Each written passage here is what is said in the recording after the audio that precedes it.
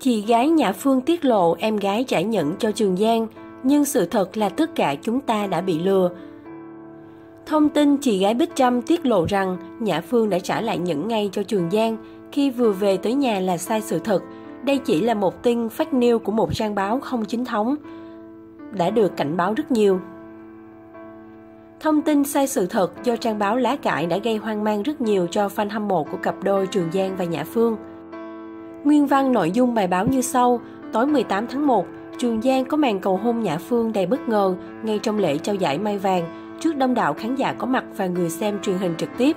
Hành động cầu hôn của nam danh hài được hò reo rất nhiệt tình ngay trên sân khấu. Trái ngược với tưởng tượng của nhiều người, Nhã Phương đã có những biểu cảm hết sức ngỡ ngàng và ngượng gạo. Không những thế, hành động rút tay khi Trường Giang đeo nhẫn cầu hôn của Nhã Phương đều khiến mọi người thấy rằng cô không hề sẵn sàng cho việc cầu hôn bất ngờ từ phía nam danh hài. Sau màn cầu hôn gây tranh cãi, cả Nhã Phương và Trường Giang vẫn chưa có câu trả lời chính thức trước truyền thông.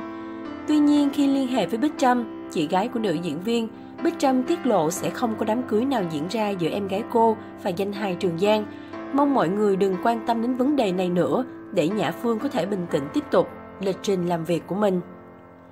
Bích Trâm cũng cho biết thêm rằng Nhã Phương và Trường Giang đã xảy ra cãi vã, dẫn đến chia tay cách đây không lâu. Hành động này của Trường Giang khiến Nhã Phương cũng như gia đình hết sức bất ngờ và hoang mang. Có lẽ Trường Giang mong muốn nếu kéo mối quan hệ giữa hai người nên mới có hành động bộc phát như thế ngay trên sóng truyền hình. Chị gái của Nhã Phương khẳng định Nhã Phương vì không muốn làm mất mặt Trường Giang trước đông đảo nghệ sĩ và người hâm mộ nên mới yên lặng. Tuy nhiên sau khi về nhà, cô đã trả nhận lại cho Trường Giang, đồng thời kết thúc mọi chuyện trong êm đẹp. Được biết sau khi lễ trao giải kết thúc, Nhã Phương đã cùng Trường Giang về lại nhà riêng của nam danh hài tại nhà bè.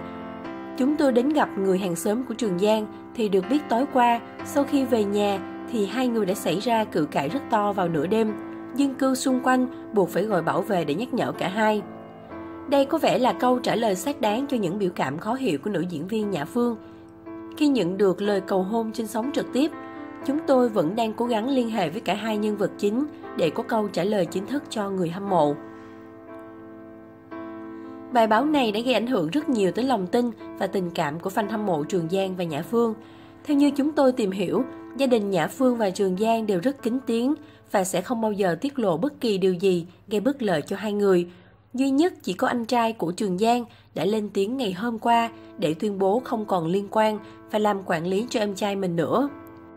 Tài khoản Facebook được cho là của anh trai, cũng là quản lý của Trường Giang, bất ngờ đăng tải dòng status đầy ẩn ý. Tôi không liên quan tới cuộc đời ai nên vui lòng không gọi và inbox. Từ hôm nay tôi cũng không còn là quản lý hay anh trai của ai cả, nên làm ơn để tôi sống cuộc sống của mình. Ngay sau đó, status này đã được chỉnh sửa lại thành Tôi không liên quan đến cuộc đời ai nên vui lòng không gọi và inbox. Dòng trạng thái úp mở này khiến nhiều người hoài nghi anh trai Trường Giang không hài lòng vì hành động nóng vội của em trai mình.